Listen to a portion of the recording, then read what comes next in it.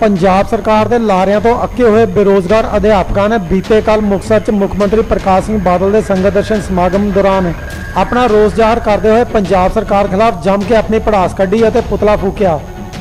ਇਸ ਮੌਕੇ ਪੁਲਿਸ ਨੇ ਰੋਸ ਪ੍ਰਦਰਸ਼ਨ ਵਾਲੀ ਜਗ੍ਹਾ ਨੂੰ ਛਾਉਣੀ 'ਚ ਤਬਦੀਲ ਕਰ ਦਿੱਤਾ। ਉਧਰ ਯੂਨੀਅਨ ਆਗੂਆਂ ਨੇ ਕਿਹਾ ਕਿ ਪੰਜਾਬ ਸਰਕਾਰ ਲਗਾਤਾਰ 5 ਸਾਲ ਤੋਂ ਬੇਰੋਜ਼ਗਾਰਾਂ ਲਈ ਲਾਰਿਆਂ ਦੀ ਨੀਤੀ ਅਪਣਾ ਰਹੀ ਹੈ। ਉਹਨਾਂ ਕਿਹਾ ਕਿ ਸਰਕਾਰ ਨੇ ਸਿਰਫ 6050 ਮਾਸਟਰ ਕੈਡਰ ਦੀਆਂ ਅਸਾਮੀਆਂ ਕੱਢੀਆਂ ਹਨ। ਅਤੇ ਉਹਨਾਂ ਨੂੰ ਜਾਣਬੁੱਝ ਕੇ ਲਗਾਤਾਰ ਲਟਕਾਇਆ ਜਾ ਰਿਹਾ ਹੈ।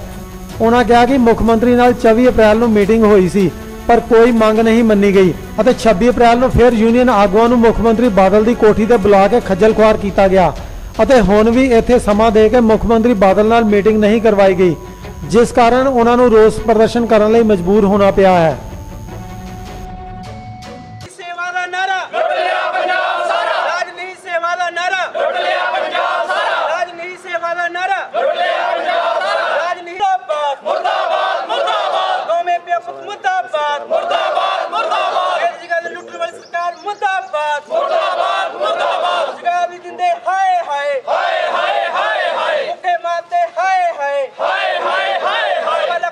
ਤਾਂ ਸਾਨੂੰ ਸਰਕਾਰ ਨੇ ਕਿਹਾ ਸੀ ਟੈਟ ਪਾਸ ਕਰੋ ਤੇ ਅਸੀਂ ਤੁਹਾਨੂੰ ਜੌਬ ਦੇਵਾਂਗੇ।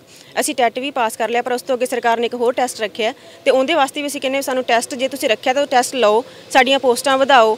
ਇਹਨਾਂ ਨੇ 4-5000 ਪੋਸਟਾਂ ਸਾਨੂੰ ਦੇ ਰੱਖੀਆਂ ਗਈਆਂ ਉਹਨਾਂ 'ਚ ਜਿਹੜੇ ਸਾਰੇ ਟੈਟ ਪਾਸ ਭੈਣ ਭਰਾ ਉਹ ਨਹੀਂ ਲੱਗ ਸਕਦੇ। ਉਹ ਓਵਰੇਜ ਹੋ ਰਹੇ ਆ ਅਸੀਂ ਵੀ ਉਹਨਾਂ ਦੇ ਵਿੱਚ ਓਵਰੇਜ ਹੋ ਜਾਾਂਗੇ ਜੇ ਸਾਨੂੰ ਸਰਕਾਰ ਨੇ ਨਾ ਗੱਲ ਸੁਣੀ ਤਾਂ।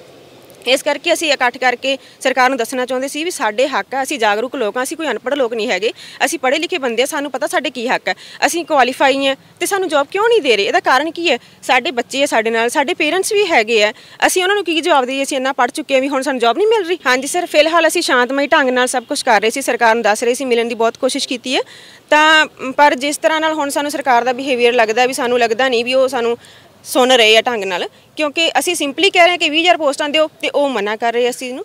ਤਾਂ ਹੁਣ ਅਸੀਂ ਅੱਗੇ ਫਿਰ ਸਾਨੂੰ ਸੋਚਣਾ ਪਏਗਾ ਕਿ ਕੋਈ ਸਖਤ ਤਿੱਖੀ ਅ, ਮੁਹਿੰਮ ਕੀਤੀ ਜਾਵੇ ਤੇ 1 ਤਰੀਕ ਨੂੰ ਅਸੀਂ ਪਲਾਨ ਕਰ ਰਹੇ ਹਾਂ ਪੂਰੇ ਪੰਜਾਬ ਲੈਵਲ ਤੇ ਕਿ ਸਾਰੇ ਪੰਜਾਬ ਦੇ ਪੀ ਟੈਟ ਪਾਸ ਜ਼ਿਲ੍ਹਾ ਪੱਧਰ ਤੇ ਸਾਰਿਆਂ ਨੂੰ ਅਸੀਂ ਬੁਲਾਵਾਂਗੇ ਤੇ ਆਪਣੇ ਆਪਣੇ ਅਰਥੀਆਂ ਫੁੱਕੀਆਂ ਜਾਣਗੀਆਂ ਤੇ ਇਸ ਲਈ ਜੋ ਵੀ 19 ਕੀ ਕਾਰਵਾਈ ਹੁੰਦੀ ਹੈ ਤੇ ਸਰਕਾਰ ਖੁਦ ਜ਼ਿੰਮੇਵਾਰ ਹੈ। ਜੇ ਸਾਡਾ ਕੋਈ ਨੁਕਸਾਨ ਹੁੰਦਾ ਤਾਂ ਸਰਕਾਰ ਜ਼ਿੰਮੇਵਾਰ ਹੈ ਇਸ ਚੀਜ਼ ਬਿਊਰੋ ਰਿਪੋਰਟ। ਪੰਜਾਬ ਟੁਡੇ